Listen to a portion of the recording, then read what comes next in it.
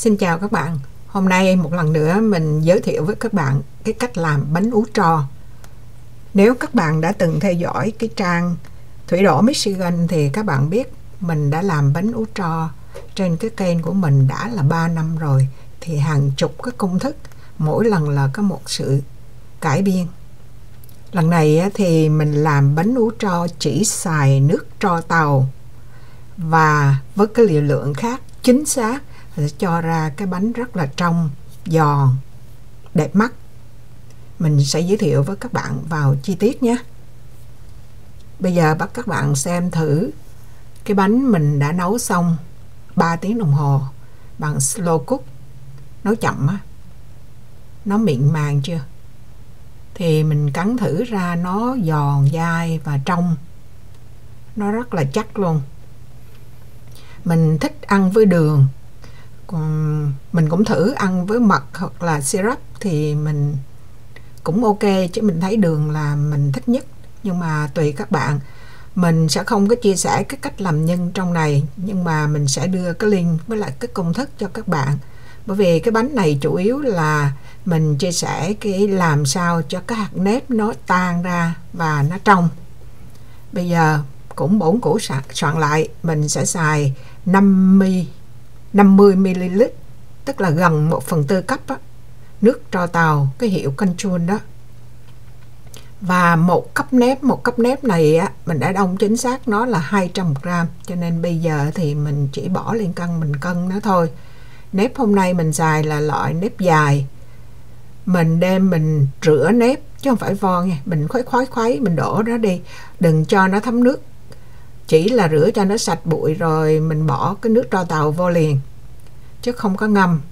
Ngâm thì nó hút nước thì cái tro tàu nó hút vô thì nó, cái nồng độ nó không đủ mạnh. Bây giờ mình cho vô một phần, coi như một phần tư cấp, chưa tới một phần tư, kể 50 gram 50 ml mình sẽ cho vô một cấp nước để cho nó có cái độ nó hút nước á. Rồi mình sẽ đem nó ngâm. 24 tiếng đồng hồ tức là một ngày một đêm. Mình ghi cái cái cái ngày tháng đó cho dễ nhớ. Tùy thuộc vào cái nhiệt độ của môi trường xung quanh và cái nồng độ pH của trò tàu. Cho nên thời gian ngâm không có giống nhau. Có thể chỉ cần ngâm 4 tới 6 tiếng đồng hồ là đủ tại vì hạt nếp nó nhỏ nó đủ ngấm. Sau khi ngâm rồi á thì các bạn đem xả sạch xả sạch nha xả hết cái nước ờ, uh, trò tàu nó đi nếu mà các bạn, mình để xả là 5 lần tất cả đó. Nhưng mà mình không chiếu hết, tại vì mình sợ các thầy vô quở ờ, phí nước. Tại vì có nhiều lần mình làm, mình xả nước vậy, có người vô quở mình. Rồi mình làm bánh, mình làm tay không cũng vô chửi là dơ, gớm, ghét rồi đủ thứ. Thành ra những cái nào mình không cần thiết, mình không có chiếu cho các bạn thấy. Mình xả là 5 lần nha. Xong rồi, bằng khi nào bạn mình ngâm 24 tiếng là bởi vì mình không biết chính xác cái thời gian như mình nói đó. Với lại cái chai à, chai uh, light water của mình á mình mua cũng cả 4 5 năm rồi. Thành ra mình không biết cái nồng độ của nó có thay đổi hay không. Thì mình chỉ bóp cái tay mình thấy nó ra bột được á là mình thấy xong. Mình thấy mình đã tới mình ngâm rồi. Rồi đến khi mình xả rửa mà mình thấy nó mình nếm thử nha mình không có biết là nó còn dính hay không thì mình phải bỏ vô miệng. Rồi mình bỏ vô miệng mình nhấm nhấm nhấm nhấm.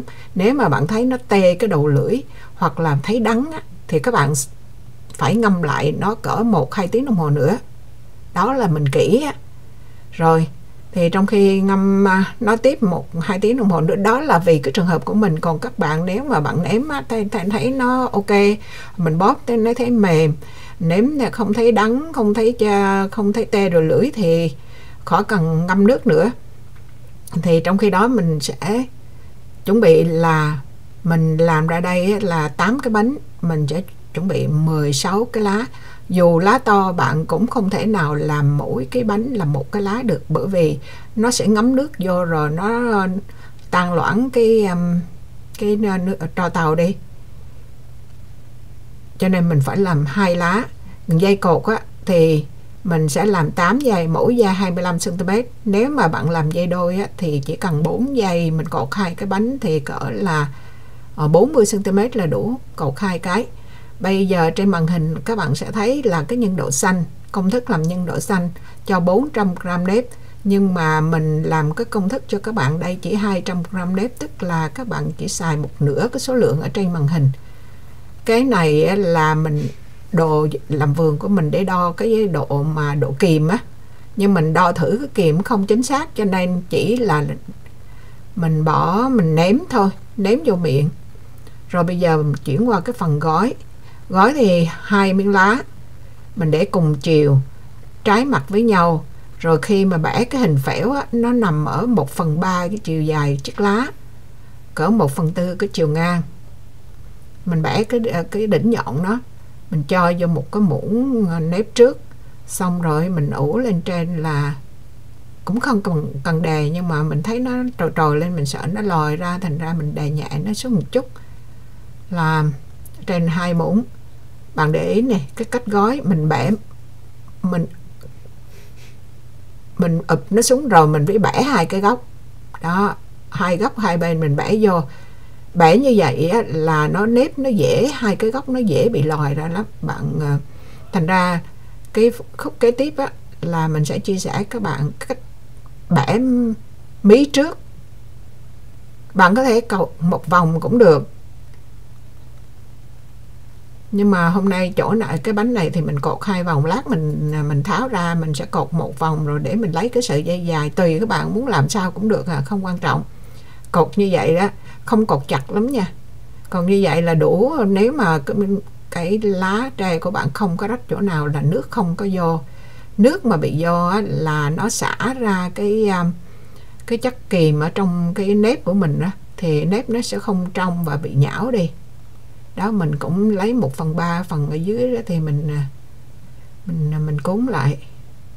Cái chiều ngang thì cỡ ở vị trí một phần tư rồi cũng ờ, cũng có như cái đầu tiên đó. Mình lấy chiếc đũa mình chọt nó xuống ờ, mình sợ cái góc nhọn nó, nếp nó không có xuống nó nhỏ quá, nếp nó không xuống, nhưng mình chọt cho chắc ăn để ra cái bánh mình ra nó nó đều, nó đẹp mấy cái góc đều sắc sảo hết.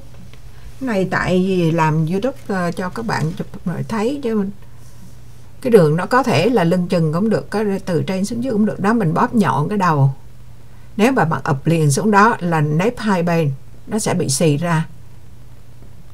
Nó khó hơn. Cho nên mình tháo ra trở lại, mình bóp bằng thái đó, mình bẻ hai cái mí, hai góc vô, thấy không? Rồi mình phải ập nó lại. Đó là hai cái góc đó là nếp nó nằm ở phía trong. Đó là cái lưu ý cho các bạn để ý như vậy thôi. Chứ còn nếu có bạn gói khéo thì cỡ nào cũng được còn bây giờ thì mình cột dây theo cái kiểu là mình ngậm một cái đầu dây ở trên miệng trước rồi mình cột. Hoặc là các bạn để xuống ở dưới cũng được. Tùy. Mình thấy tại vì mình khi mà mình ngậm cái đầu dây á, thì cái miệng mình mình không thể muốn chiếu cái mỏ mình ra. Thành ra mình à, mình mình phải thả nó xuống ở dưới chứ mà các bạn cột thì ngậm ở trên miệng một đầu rồi một cái mình cột. Đó cột như vậy đó, sợ các bạn không thấy được á, thành ra mình phải kéo nó xuống. Còn giờ giờ à, cái cái miệng ra mình không có thích. Ở trên, nếu mà mình ngắm ở trên đó cái dây nó siết rất là chặt nha. Mình rồi mình, khi mình lấy ra thì mình mở mở lại cho nó rộng rộng ra chút, tại vì cái miệng mình nó kéo á, nó chặt đi. Rồi, cứ cột dây đó thì mình cột lại thành chùm. Rồi xong rồi á vì đúng ra là 8 cái bánh nhưng mà cái lá to quá mình đổ nhiều nếp quá thành ra bây giờ làm ra có 7 cái. Thường cái bánh nhỏ thì 200 gram là được ừ, 8 tới 10 cái mà bữa nay mình làm ra 7 cái.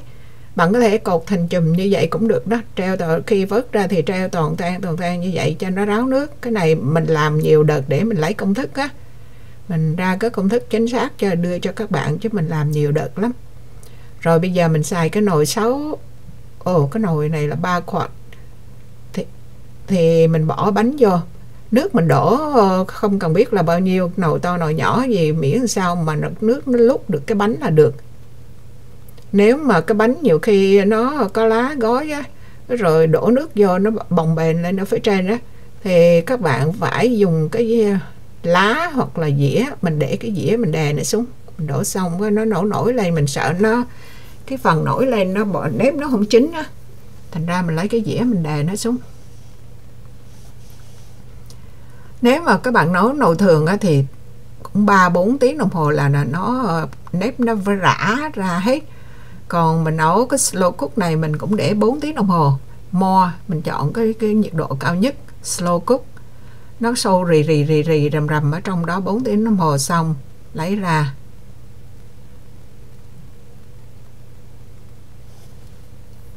Mình để sẵn cái thau nước lạnh ở bên đó rồi mình lấy nó ra, rồi mình ờ, mình mình bỏ nó vô, mình rửa lại cho nó sạch ấm mát chị. Nếu mà cột từng chùm á, một chùm á thì mình vớt cái rụp là ra hết. Còn cái này á, mình chịu khó. Rảnh quá thì vớt từng cái từng cái như vậy.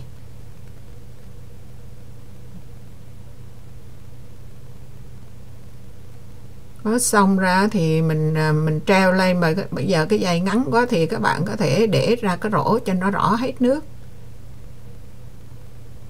bánh này rất là chắc luôn. Mà nếu mà nó bị vô nước á, là cái bánh nó nó lạc lạc lẽo.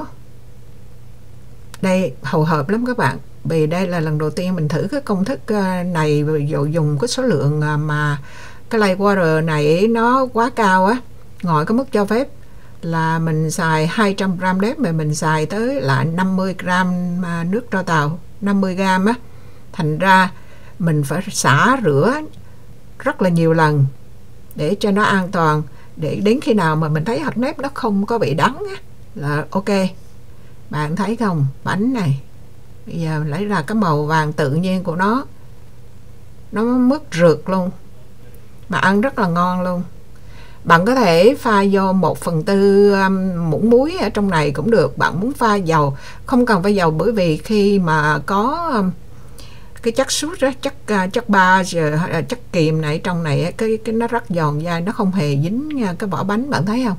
Nó không cần dầu gì hết mình gói hồi nãy các bạn thấy đó. Rồi bây giờ mình cắt ngang ra rồi để mình ăn thử các bạn xem. Ở đầu hình cái màn hình video mình cũng có để rồi bây giờ mình chiếu lại. Cái phần mình ăn bạn thấy mình bỏ đường. Ừ, tại vì trong cái nếp này nó bây giờ nó chỉ thơm nó thơm cái mùi đặc trưng của bánh một nước tro á. Thì các bạn có thể là nấu đường lên ăn còn quê mình thì chỉ quen quê mình ở Quảng Nam không có nhân nha. Khi mình lúc nhỏ mình ăn bánh ú trò nó không có nhân. Nó chỉ ăn cái bột nếp chủ yếu ăn cái nếp nhân này là mình học bên này mình làm thêm vô vậy để dụ mấy đứa nít bên này thôi. Đó rồi bây giờ mình thử vô mình có maple uh, syrup này mình ăn còn các bạn có muốn uh, bỏ ờ, ăn với cái gì cũng tùy bạn à. Tùy mỗi người thôi. Mình thấy uh, uh, mình ăn với cái syrup này nó không hợp tại bởi vì về syrup á, là nó có cái uh, axit ha nó có cái vị chua của nó một phần nào ở trong đó nó không có ngon. Mình chỉ muốn ăn với đường để nổi bật cái mùi à cái mùi đặc trưng của nó cái mùi cái mùi chứ không biết nó diễn tả nữa. Đó bạn nhìn lại lần nữa cái um, cái bánh ủ trò của mình làm lần này quá thành công luôn. Nhưng mà mình sẽ nghiên cứu làm thế nào làm bánh ủ trò không phải là chỉ dùng với cái số lượng mà à, nước tro tàu lớn như vậy. Mình sẽ người ta bạn bây giờ bạn để ý trên màn hình là có hai bên bên tay trái là bánh nó mướt hơn ở bên tay phải là bánh mình mình giảm lại mình giờ có hai muỗng cà phê. Thì nó còn có hạt nếp mà cái vị cũng giống nhau thôi. Tại vì khi mình dùng nhiều nhưng mà mình đã xả rửa để làm cho nó có cái phản ứng hóa học nó làm tan cái cái à, cái à, cái, cái biến đổi cái tinh bột bột ở trong cái hạt nếp chứ mình không ờ, rồi mình xả rửa nó đi không còn cái gì mà mình ăn với lại cái cái cái lay water đó. Thì trên thị trường á ngoài cái lay water là cái hiệu control đó nó nó rất là nhiều hiệu. Mỗi hiệu nó có cái nồng độ à, acid à, nồng độ ba nó khác nhau. Thì ngoài cái cái chất lỏng người ta còn bán hai cái loại bột tro tàu à, gọi là tro bột chứ mà không phải là tàu. Tại vì hồi xưa là của người tàu đem qua thành ra họ gọi là tro tàu. Chứ thực ra cái hai cái loại bột này á ở trên thị trường bán để trong cái công à, để cung ứng trong cái việc mà chế biến thực phẩm á, thì à, ở Mỹ nó xài á, là cái cái bột cái cái potash này cái bột potash này á, là của Đức. Thì đó là potassium là cái cái kim loại của nó là kim loại kiềm á, là kalium á rồi cái loại thứ hai nữa ở bên Mỹ xài là sodium hydroxide hydroxide là NaOH này. Thì còn gọi tắt là caustic soda. Nó là cái chất mà để mà mà mà, mà thay gọi là lay for baking á là loại lay để mà làm làm bánh. Thì các bạn nếu mà các bạn không có mua được hai à, cái cái um, cái hiệu nước trao tàu của mình để hàng ở trên con đó thì các bạn có thể mua khác hoặc là những cái loại trao bột này nó mạnh hơn. Chứ cái thời bây giờ mà nói những người mà làm bán á, họ chẳng qua là họ không cho bạn thấy thôi chứ thực sự ra họ xài những cái chất này cho nó lẹ cho nó nó hiệu quả hơn cũng không phải là ngâm lâu ngâm mấy cái này hay là cỡ ờ, 4 5 tiếng đồng hồ là là cái cái hạt nếp nó là nhừ luôn. Rồi còn mình nhâm ờ, mấy bữa mình làm mình kỹ mình ờ, mình chỉ bỏ vô cái theo cái, cái tỷ lệ mà cho phép á thì chỉ là tại vì mình bỏ vô mình không có xả rửa lại rồi mình bỏ vô mình không có ngâm thành ra mình mình nó không có thành công được còn bây giờ thì mình bỏ vô nhiều nhưng mà mình xả rửa lại nó thì cũng cái cái thực sự mình tiêu hóa nó không có cái, vẫn nằm trong cái mức độ cho phép. Cho nên những công thức mình đưa ra bảo đảm các bạn an toàn không có lo gì hết. Bởi vì mình cầm chừng mình mình tìm hiểu rất là kỹ mình mới đưa ra công thức. Công thức của mình chia sẻ các bạn tới đây là xong. Cảm ơn các bạn đã theo dõi. Hẹn gặp lại các bạn trong những video kế tiếp. Bye bye.